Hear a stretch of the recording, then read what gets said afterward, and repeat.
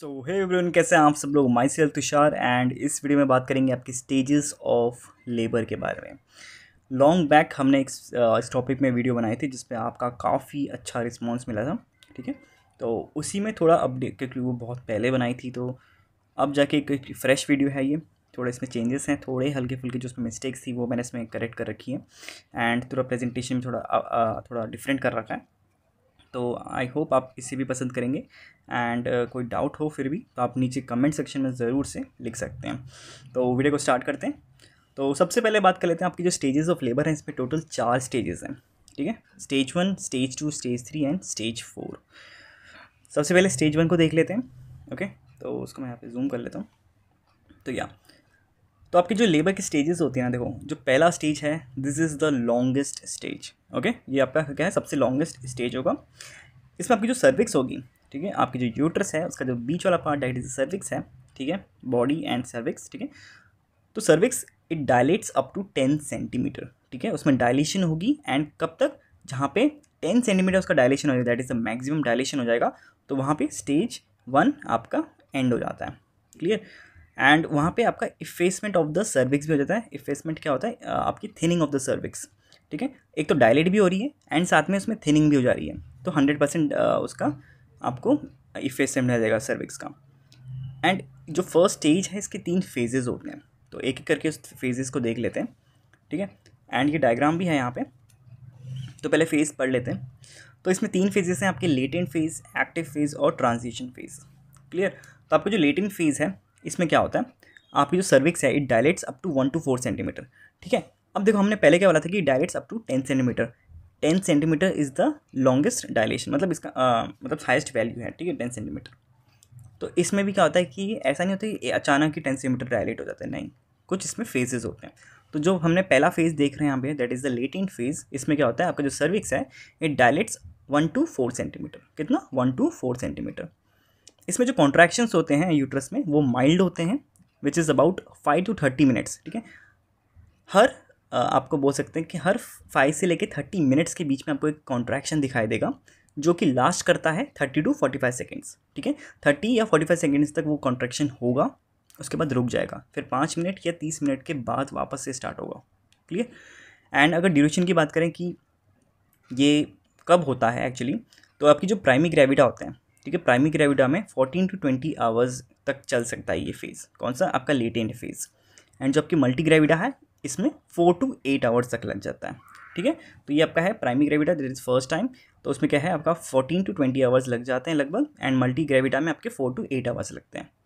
Next आपका आता है, एक तो लेटेंट हो गया। लेटेंट के बाद क्या है? आपका एक्टिव फ़ेज़ ना जो एक्टिव फ़ेज़ है, इसमें क्या होता है कि आपकी जो सर्विक्स है, पहले क्या हुई थी? वन टू फोर हुई थी। इसमें क्या होगा? फोर टू सेवन सेंटीमीटर तक डायलेट हो जाएगी अभी सर्विस क्लियर एंड इसमें जो कॉन्ट्रैक्शंस मिलेंगे, इसमें क्या होता है कि हर तीन से पाँच मिनट में आपको एक कॉन्ट्रैक्शन मिलेगा, जो कि लास्ट करेगा फोर्टी फाइव से सिक्सटी सेकेंड्स तक। क्लियर ठीक है? तो आप देख सकते हैं कैसे चेंजेस हो रहे हैं। आपके कॉन्ट्रैक्शंस का इंटरवल कम होते जा रहा है। इंटरवल मतलब हर तीन से पाँच मिनट में अब कॉन्ट्रैक्शंस आएँगे। पहले क्या हो रहा था कि पाँच से तीस मिनट तक के बीच में कॉन्ट्रैक्शन आ सकते थे। क्लियर अब उसमें क्या था कि आपके ड्यूरेशन की बात करें तो ड्यूरेशन में क्या बोल सकते हैं? प्राइमरी ग्रेविडा में फोर टू सिक्स आवर्स तक चलेगा ये फ़ेज़ एंड मल्टी ग्रेविडा में टू आवर्स तक चलता है लगभग फ़ेज़ एंड इसी में जो फाइनल फ़ेज़ है ट्रांजिशन फ़ेज़ ठीक है, जिस, जिसके बाद आपका स्टेज टू स्टार्ट हो जाएगा, उसमें क्या होता है? आपके ट्रांजिशन फ़ेज़ में जो आपकी सर्विक्स है इट डायलेट्स ठीक है डायलेट्स कितनी हो जाती है? टोटल आपकी एट से लेके जो मैक्सिमम डायलेशन है दैट इज़ टेन सेंटीमीटर तो वहाँ तक डायलेट हो जाएगी।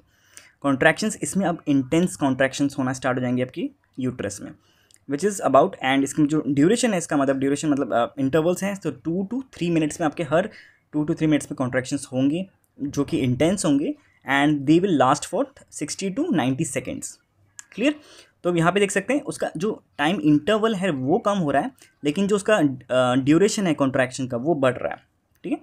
एंड ये टोटल ड्यूरेशन जो इसका है, इस फ़ेज़ का ड्यूरेशन है that is about thirty minutes to लेके टू आवर्स दोनों के लिए प्राइमी एंड मल्टी ग्रेविटा के लिए, ठीक है? तो इसका अगर हम लोग इसकी थोड़ा डायग्राम देखें तो यहाँ पे लेटेंट और एक्टिव फ़ेज़ हम मैंने बनाया स्टेज वन में तो एक्टिव फ़ेज़ में आप देख सकते हैं, यहाँ पे हल्का डायलेशन अभी स्टार्ट होगा अभी ठीक है? एंड ये ये तो देख सकते हैं कि यूट्रस है ये सर्विक्स है दिस इज़ द सर्विक्स जिसमें डायलेशन एंड साथ ही साथ इफेसमेंट होना स्टार्ट हो जाएगी। This is vagina and this is placenta and ये बीच में अम्बिलिकल कॉर्ड है फीटस है तो बहुत बेसिक चीज़ है। एंड इसी का जो एक्टिव फ़ेज़ है इसमें आप देख सकते हैं ये आपकी जो सर्विक्स है ये डायलेट होना स्टार्ट हो गई है ठीक है? एंड जस्ट uh, इसके बाद आपका ट्रांजिशन फ़ेज़ आता है एंड उसके बाद आपका स्टेज टू स्टार्ट हो जाता है। तो अब हमने ट्रांजिशन फ़ेज़ तक देख लिया अब स्टेज टू की तरफ़ बढ़ते हैं। देखो, जो स्टेज टू है it starts when cervix fully dilates and effaced मतलब आपके क्या होता है? इसमें जो सर्विक्स है, जो हमने बोला था, आपके, देखो, हमने यहाँ पे पहले ही पढ़ा था ना स्टेज वन में जो एंड होता है, कैसे होता है? एंड आपके डायलेट हो जाता है एक तो टेन सेंटीमीटर और इफेस भी उसका हंड्रेड परसेंट हो जाता है। तो वहीं से आपका स्टेज टू स्टार्ट हो जाता है सिंपल सी बात है। It ends with delivery of the baby ठीक है? यहाँ पे एंड स्टेज टू का कहाँ पे हो रहा है? जैसे ही बेबी डिलीवर हो जाएगा।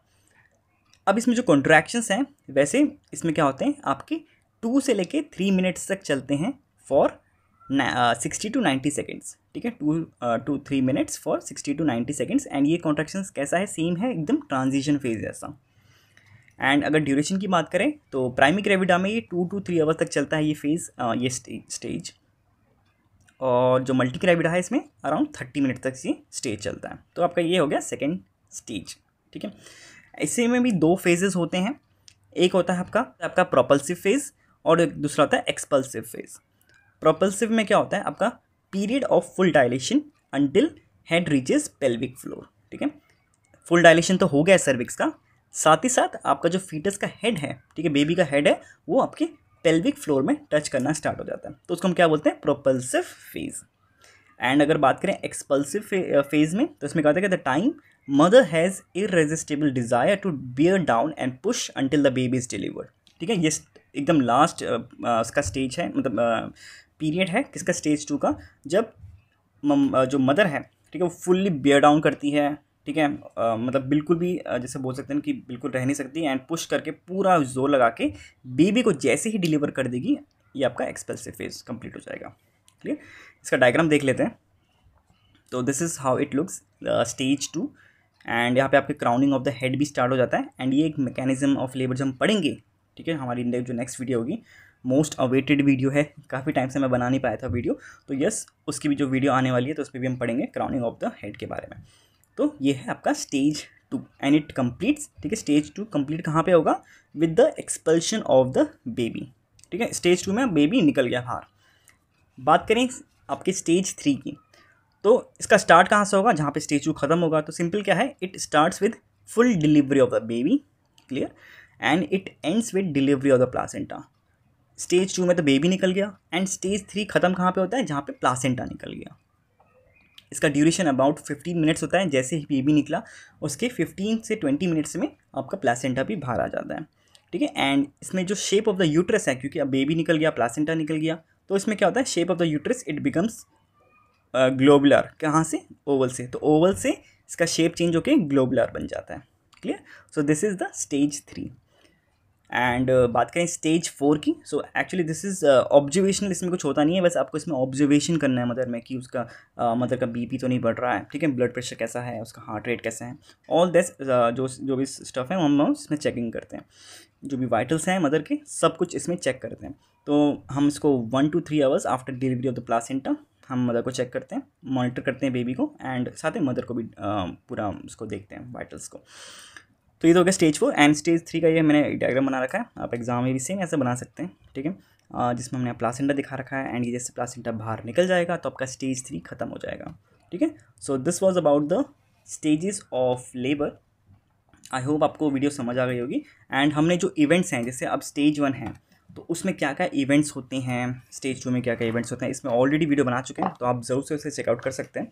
जो मैं दिखा देता हूँ, अगर वो इसी बुक में है तो यस तो ये हमने पढ़ा था events in the first stage of labour तो हमने तो यहाँ पे देखो ब्रीफली पढ़ा कि स्टेज वन में क्या क्या क्या क्या है स्टेज टू में क्या क्या है ड्यूरेशन क्या है कॉन्ट्रैक्शन क्या क्या, थोड़ा थोड़ा थोड़ा ब्रीफली पढ़ा है। इसी को अगर आपको फुल्ली पढ़ना है तो आप एक एक स्टेज को पढ़ सकते हैं, जैसे स्टेज वन का पूरा यहाँ पर लिखा है। क्या क्या होता है उसमें, क्या क्या इवेंट्स प्लेस करते हैं। वैसे ही हमने आपके स्टेज टू को भी पढ़ा था एंड आपके स्टेज थ्री को भी पढ़ा था, ठीक? तो आपने ये सब चेकआउट नहीं किया तो ज़रूर से कर लेना। इसका लिंक मैं आपको नीचे डिस्क्रिप्शन में दे दूँगा। एक प्लेलिस्ट मिल जाएगी आपकी ऑप्स की। तो वहाँ से आप ज़रूर से चेकआउट कर सकते हैं, ठीक है? एंड इसके बाद जो वीडियो आएगी वो है आपकी मैकेनिज्म ऑफ़ लेबर तो आप ज़रूर से उसे भी देख सकते हैं। तो उसके लिए आपको हमारे चैनल को ज़रूर से सब्सक्राइब करना होगा तो प्लीज़ वीडियो को लाइक कर लो शेयर कर लो एंड हाँ सब्सक्राइब करना मत भूलना, ठीक है? तो मिलते हैं नेक्स्ट वीडियो में till then take care bye